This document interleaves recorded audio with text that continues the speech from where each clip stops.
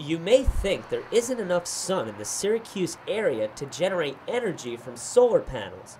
In reality, solar panels here can save you money on heat and electricity. But I think if we're concerned about our environment right now, if we're concerned about our dependency on, on, on oil and our electricity, uh, I think this is the direction we've got to take. Mike Morocco plans to have the solar panels installed on the town hall's new roof this coming spring. The panels are like the ones seen here at Warner Energy in Cicero. The DeWitt panels will be paid for by federal stimulus money, which is channeled through the New York State Energy Research and Development Authority. The money goes towards local town projects that conserve energy.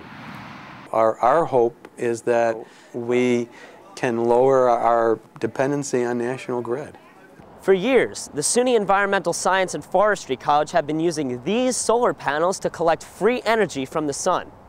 Because every municipality wants to save money, basically, bottom line. And if you can do it and be green at the same time, that's a double payoff. What we found in working with other municipalities is that they realize exactly what they're paying for their energy costs. The long-term goal is to cut DeWitt's energy costs in half. Gene Wexler, NCC News.